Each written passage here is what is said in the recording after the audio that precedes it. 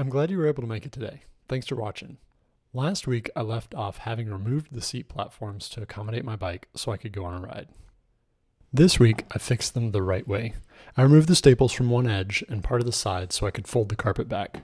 For most of the staples, I ended up using a mallet to drive in a cat's paw nail puller under the staple to pry it out. Generally, one of the legs of the staple would get stuck and I would have to pull it out with some slip joint pliers.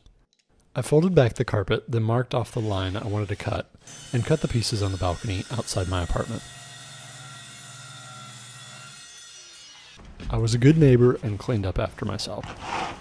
After cutting the wood, I cut off the extra carpet and duplicated the original process to reupholster the pieces. Starting with the corners, cutting out part of the fold, then finishing with the sides. The screw holes I had drilled before were in the wrong position, so I drilled the new pilot holes and used the same screws. Now we've got to test it. I'm lucky enough to have vaulted ceilings in my apartment, so I store my bikes on the ceiling using hoists. Living on the third floor with a bike isn't ideal, but I do what I can with what I have. Every time I'm at the top of the stairs, I think of what it would take to ride down the three flights of stairs without dabbing. Thus far, I have not given it a try. I usually don't have any gear, so that helps discourage any shenanigans.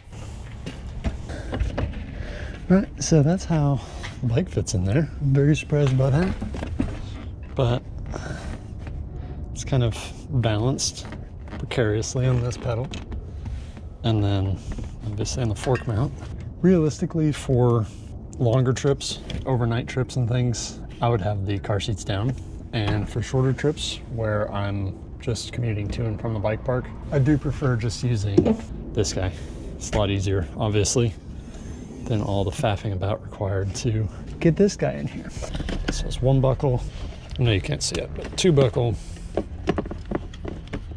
three buckle, and this car seat's out. Then it's just a matter of flipping that forward, pulling that off,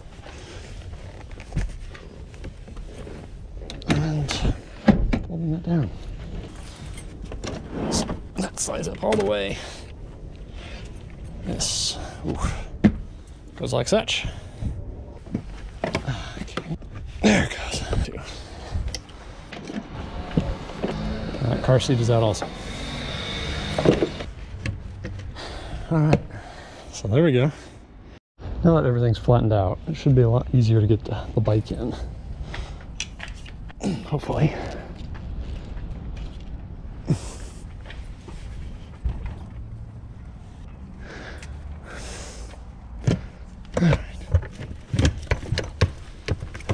Mush it in there a little bit. There it goes. And it was a happy accident, but a fortunate accident.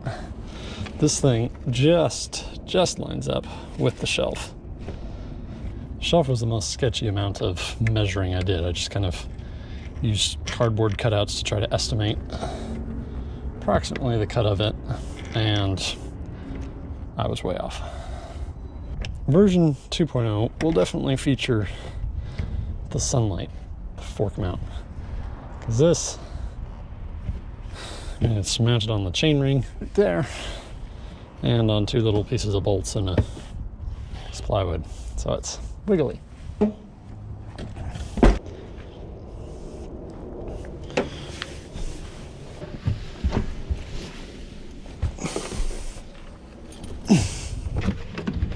This. No. Oh. Ugh. I just locking it. Ugh.